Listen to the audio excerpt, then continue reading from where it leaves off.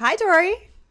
Hey, Claire. Great to connect. So good to meet you. I've kind of been like one of your, you know, stalker fangirls from afar. I totally loved um, Stand Out, and look, so you even I've, have a prop. That's I do, amazing. I do, Thank the you. Prop, right? In case, in case you don't have it. Um, so I'm super excited to chat. Um, I'm just gonna kind of read your your bio before we get started, just for folks who you know don't already know and love you.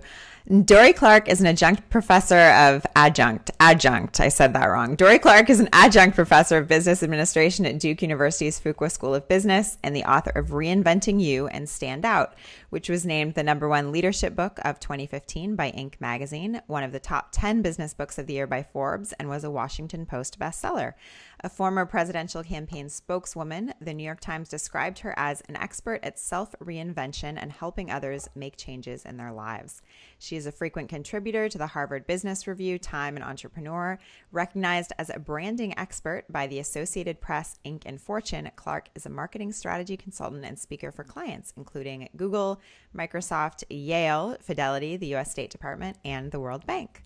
And she is here talking to me in my home office today. Hello.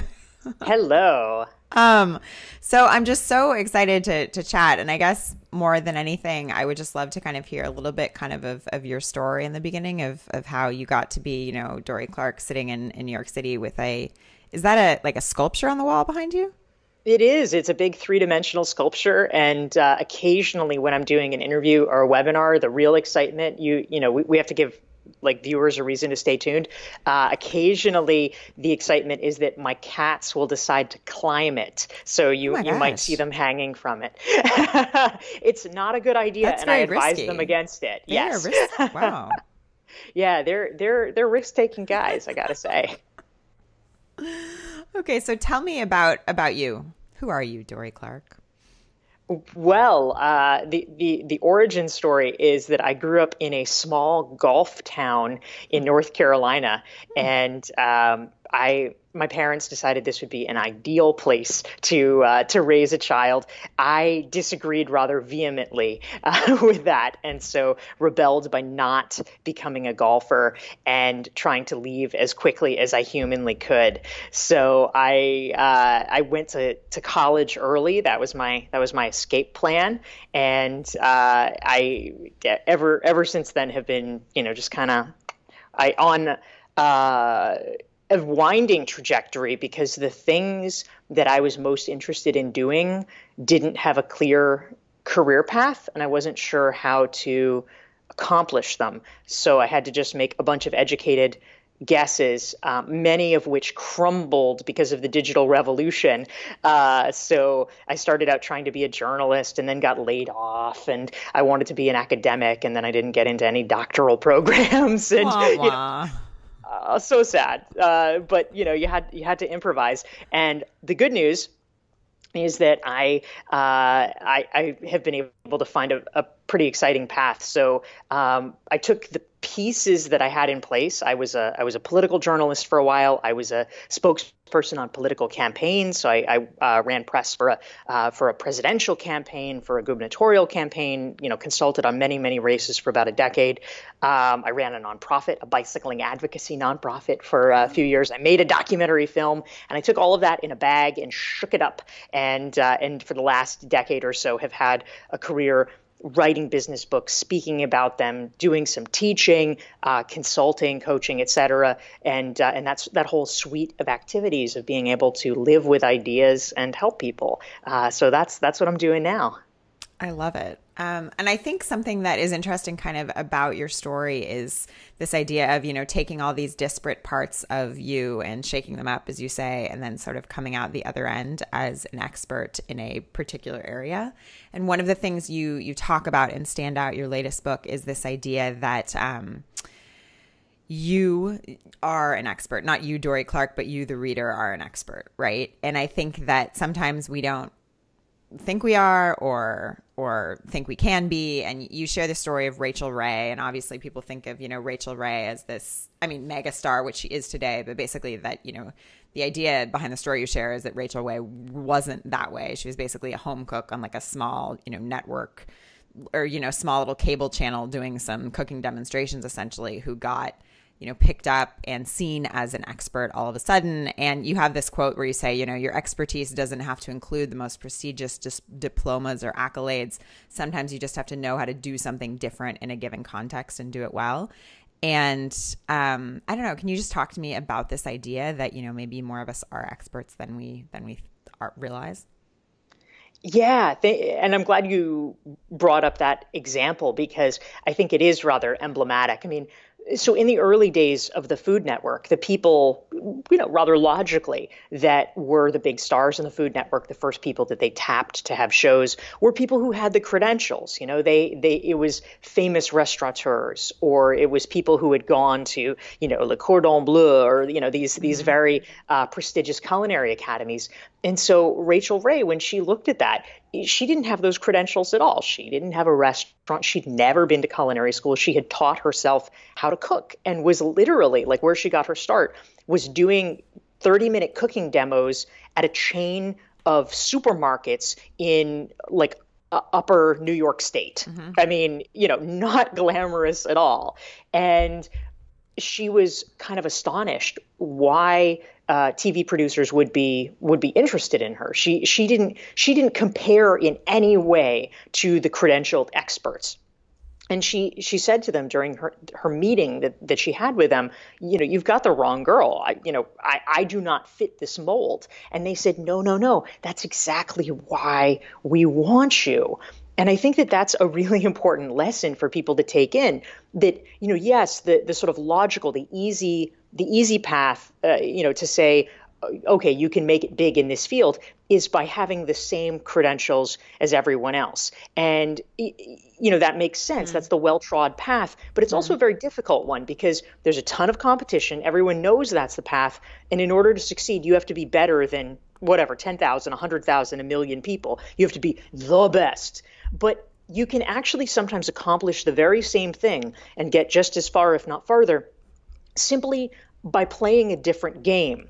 And the game that she was able to play was being the opposite of that, because the Food mm-hmm. Channel uh, executives they they realized in looking at their suite of offerings that everyday cooks would look at Emeril Lagasse or they'd look at Mario Batali and say, "Well, it's awesome that they can do that." But I don't own a restaurant. I never went to culinary school. Can I actually, you know, cook this dish? But if they looked at Rachael Ray, they'd say, oh my God, if she can do it, I can do it. And she was relatable. And for that reason, because she was completely different, because she was completely herself, they realized they had something special. She she was, you know, they were the apples, she was the orange. And by going with that, she was able to succeed. And I think fewer people think that that is possible than, you know, really is the case.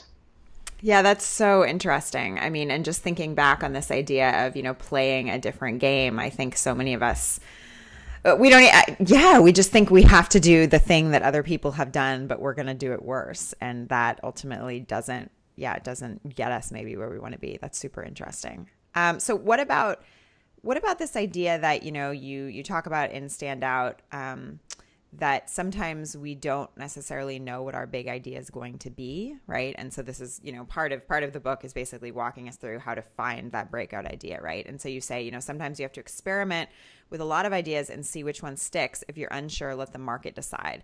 So i want to ask you about this idea but i kind of want to ask it in the framework of you know a lot of us these days have heard this idea that you know we need to kind of winnow down to not be overwhelmed by choices. And so how do we how do we, you know, throw a bunch of spaghetti on the wall to figure out what idea is going to stick at the same time as we don't become totally overwhelmed by, you know, trying to be an expert in absolutely everything? Right. Yeah, that that is the central paradox. You're exactly right. I think that the way that we prevent ourselves from being overwhelmed is by almost consciously holding ourselves back at first from hmm. going all in. And what I what I mean by that is that every, you know in in you know this is a philosophy from from Silicon Valley that I think is now thankfully um, sort of you know getting out into the rest of the world. But if you if you know one of one of the case studies, one of the people I talk about in uh, Standout is is Eric Ries, who wrote you know famously the book The Lean Startup, and they talk about a concept called the the minimum viable product. And the idea there is that if you, you know, whether you are creating a software company, whether you're creating anything, if you just go too far down the garden path without any kind of validation, without talking to customers, without talking to people, just because, you know, oh, this is going to be so amazing. And you invest all this time and all this energy in it. And, you know, we all know people like this, you know, that, that, that have this idea that they've been cooking up for years and they don't tell anyone because someone might steal someone their steal idea. but they, they got to, you know, release it. But they know that when they do release it after you know, decades of tinkering and making it perfect, it's going to hit so big. Well, you know, almost always, of course, it never does because they haven't talked to anyone. They haven't, you know, seen if other people like that. They're just in the echo chamber of their own head and it bears no resemblance to reality. Meanwhile, the you know, the opposite approach is that if you're if you're testing a few small hypotheses in really tiny ways. If, you know, I mean, in my case personally, I, you know, I'm not eh, creating products, but I'm, you know, I'm creating ideas, right? I, I write, I speak, I teach. And so, for me, the example of sort of a minimum viable product is like a blog post. Like, hmm. is, is, it is it worthy to create a book about something? Well, hmm. you know what? Book is not going to sell if even a blog post that I write about it nobody's interested in. Like, you know, that's that's a pretty minimum threshold. Like if is somebody willing to spend 5 minutes reading an 800 word article, if they are not, they are not going to read my book. So, just having having those little kind of tests is so important and i think people overlook it because it's fun as a human to just you know go all in and get excited and oh my god i have this big idea but it creates a kind of a kind of mania and a kind of solipsism that is not helpful at all. Hmm. Hmm. That's really interesting and so, so, so true, right? I mean, I think a lot of times, sometimes the reason we want to um, just stay in our heads with that big idea is because we almost don't even want to do the work. And so it's easier to just stay in our heads in some ways. Hmm. Yeah, yeah, absolutely. I mean, there's, there's sort of genres of uh, procrastinators, you know, there, there's, right. there's, yeah, it's like you know when you when you see people that really desperately want to be successful but aren't for some reason, you sort of look at what they're doing, and and one type, one variety is the person that keeps researching things and they get so excited about the research and oh I, I need to buy this course and i need to buy that course and and then i'll be ready right. and and and it just it keeps coming and and they want to they keep learning so much but they never do it and it's uh. you know and i think in some ways that's a really it's it's almost i'm not sure if it's the most insidious but it's one of the most insidious forms of procrastination because they're not technically wasting their time. Right. They're learning. They're right. doing something productive. So right. it feels productive. It's not like they're like, you know, fucking around on Facebook right. or something, you know? But nonetheless, it's the illusion of productivity because nothing ever happens. That's, I mean, that's fascinating. And I, I, do think that's one of my traps in life in general. But I guess this isn't a therapy session for Claire. Um, so, okay, talk to me about research because in standout you you know you basically say if you have this idea you if you know you figure out your idea you know you need research. And i think you know you developed the ideas for the book through articles you wrote in harvard business review and in other places but you know not everyone feels that they have the ability to do research on that level perhaps. So what can research mean for um, someone who's who's not dorie clark i guess well, okay. The first thing I want to, uh, so so yes, and the first thing I just want to do is rebut things because I lived in Boston for 17 years, and the first thing that you learn when you live in Boston, where like everyone has a Harvard affiliation, is that a Harvard affiliation is like really, it's like the most boring thing in the world. It's like you, you know, people far away, like you're in Argentina, and so like the farther away people are from Harvard, the more it's like, oh, Harvard. But the closer you are to Harvard, it's like who cares? who doesn't? Blah. Like not not exciting at all. so funny. I think I think the world overblows it That's because funny. of the brand. Uh, but but the exciting learning from that is that if you are actually able to swaddle yourself in social proof, you can get so far just because people are like overly impressed sometimes with brands. So, you know, people might think, oh, it's hard to write for the Harvard Business Review or something. And I mean, it's hard in the way that writing for anything is hard because, yes, you have to learn the editorial voice. You have to, you know, sort of learn how they want you to present uh, information, but that's not substantively different from doing anything else for anybody else. So that's number one. Mm-hmm. Uh, but number two, I would say that um, you know everyone can and should do research of some form. And what I mean by that is that the easy thing to do, the easy way out is and and you know, it's a starting place for a lot of people, but they say, "Okay, I need to I need to create content. I need to blog or do whatever." And they just they just come up with like their opinions, like, you know, "Oh, here's oh, you know, blah, blah, blah happened with United Airlines. Let me write what my opinion is. Boom, boom, boom. And, you know, the truth is, until, I mean, you know, this is just a fact of life, literally for for all of us until you rise to a level level of stature where people have already heard of you and they're like already sort of waiting with with bated breath no one cares what you think i mean I, like I would care what Oprah thinks because I would care what Oprah thinks about anything because Oprah's just like really interesting. But she spent 30 years earning the right mm-hmm. for me to care about like mm-hmm. what soda Oprah drinks or what she mm-hmm. thinks of United Airlines. Mm-hmm. Uh, for for literally almost everyone else no one cares what your opinion is they want they want something real and meaty and substantive now research though can take many forms it could take the form of you interviewing someone who's a genuine a, you know respected and externally acknowledged expert that's a form of interesting research. It could take the form of you looking up uh, studies. And i don't mean you have to be an academic to do it or whatever. I mean like you can do a google search and you know i mean you just have to be smart and not whatever quote wikipedia and you know random you know fake news sites from Belarus. You know, you just you know you need to like look at, at what is coming out of of journals that are being cited, you know, et cetera, et cetera. Um, that's that's not that hard to do. You could do um, you know, depending on the topic, you could do uh, you could create your own survey of you know various people or clients. You could write a case study about something mm-hmm. that you have intimate experience with. I mean, maybe you're a consultant and you've worked with a company. You could write a very in-depth uh, case study about all the steps that you took and what you know what the problems were. If you're able to create something that is just more in depth and than the norm, something that's more interesting than the norm because it has more of a factual basis. It's not just like here's what I think, but it, it you know it's drawing on experiences or knowledge or studies that other people have done that have real heft and merit to them. That's actually giving people something of value. And because the vast majority of people don't bother to do that, yours will persist while others fade away. Hmm. Hmm. That's awesome. So then what about once you have research, how do you move into sort of what a, what a framework is? and how you kind of build a framework around you. And you use, and in your book, you use one of the examples of Elizabeth Kubler Ross, who has the you know framework for basically grief and how we the stages of grief that we go through afterwards. Which I mean has been very influential in my own life on a on another topic. Um, but so how do we kind of how do we make a framework? Where do you start?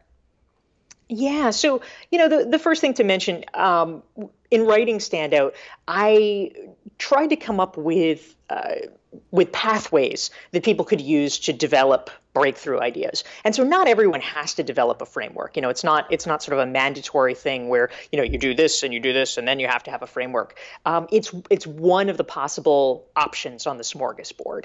Um, so that's that's the the first piece to to get out there that it's not mandatory for everyone, but mm. it hmm. is one of the one of the possibilities in terms of you know if you are coming up with an idea that gets noticed that gets heard, a framework is actually a really good thing to if you if you can develop it.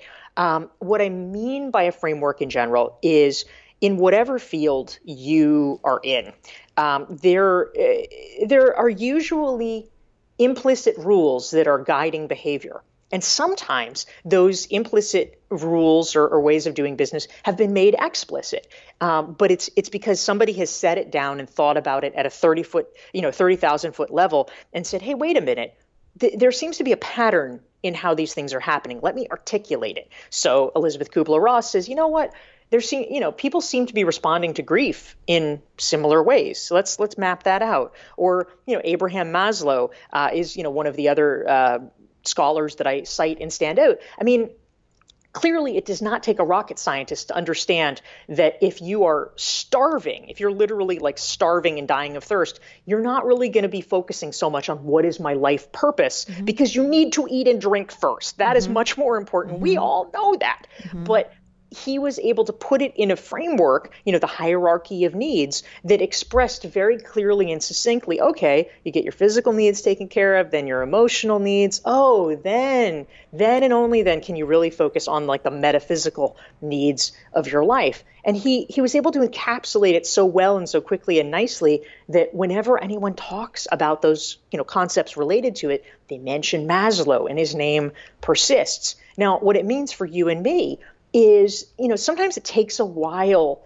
for us to be able to see the pattern, to see the forest for the trees. I mean, for instance, um, so I I first wrote my my very first blog post about the concept of how do you become a thought leader, how do you become a recognized expert in 2010.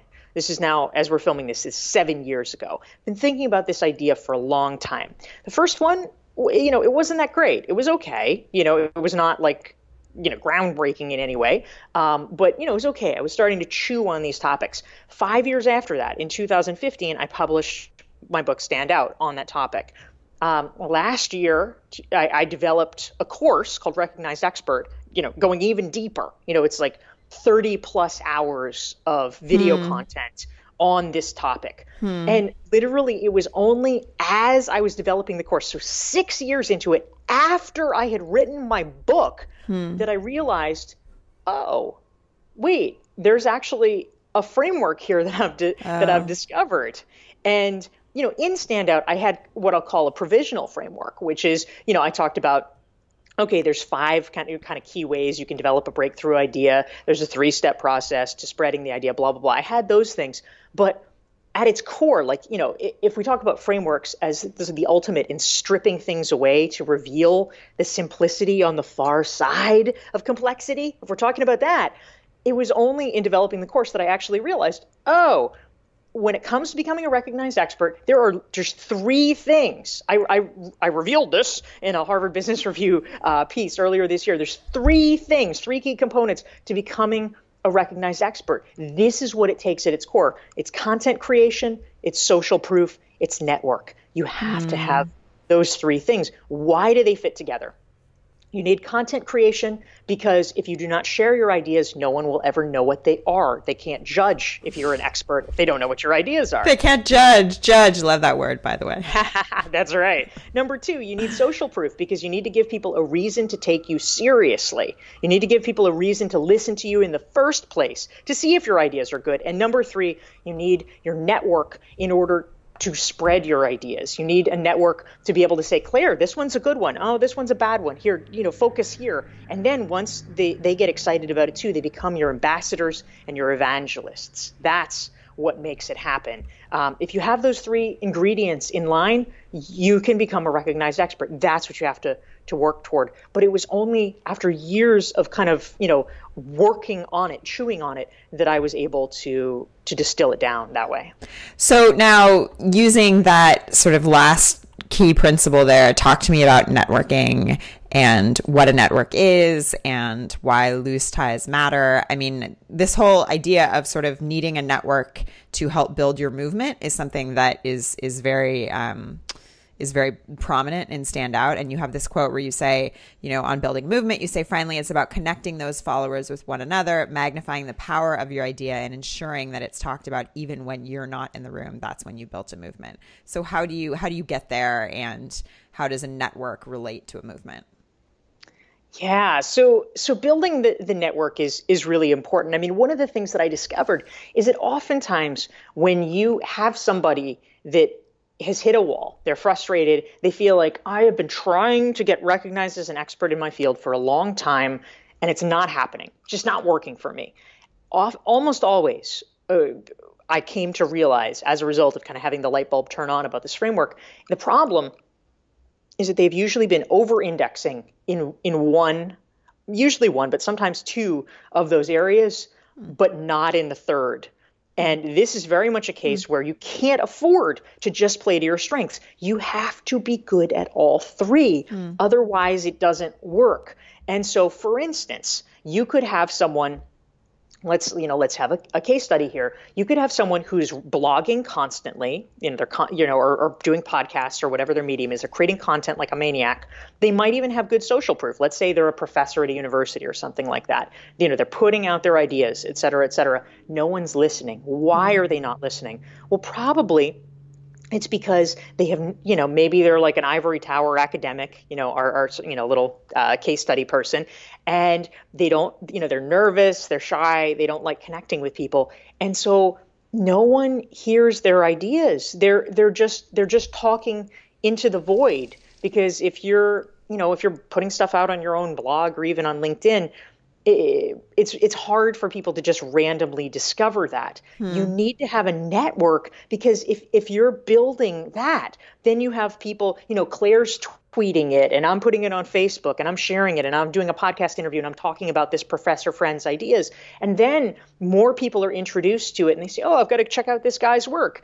And you, you're able to to get uh, to get the, the traction and the momentum behind it. But you need that network of other people to push it you can't do that on your own. So, how do you begin to, to develop it? Well, I think you know there's a lot of ways fortunately i mean sometimes people feel frustrated and alienated in our internet age but i mean one really good example we were talking just before um, you know we turned on the camera you you are in argentina right now it is probably not the easiest thing i'm assuming to be networking with people in the American business context sure. if you are all the way in South America. But by doing things like this, where you are reaching out, you're having video interviews and Skype calls with people, you're able to, uh, you know, to be building this, these connections, and uh, and you know, in by doing it in the form of, of a summit or something like that, you're giving people a, a reason uh, you know, sort of an extra reason to do mm-hmm. it rather than just like, hey, let's randomly connect. Mm-hmm. And so it rises to the top of the priority list.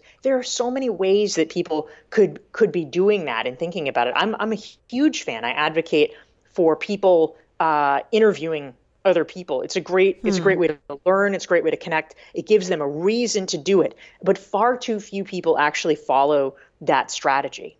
I mean, that sounds absolutely amazing. Um, you know so okay just to kind of close up where where else can people sort of find you on on the internets these days yeah, thank you so much, Claire. Well, I would uh, I would encourage people to uh, to go to my website. It's dorieclark.com. I have more than 400 free articles on my website uh, that I've written over the over the last uh, many years, and I also have a, a free resource available online, um, which is my for people who are interested in coming out uh, with their own breakthrough ideas.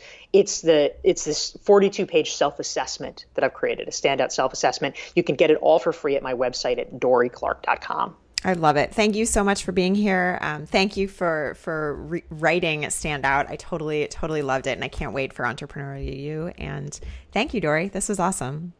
I appreciate it. It's awesome to connect with you, Claire. Thanks. Thanks.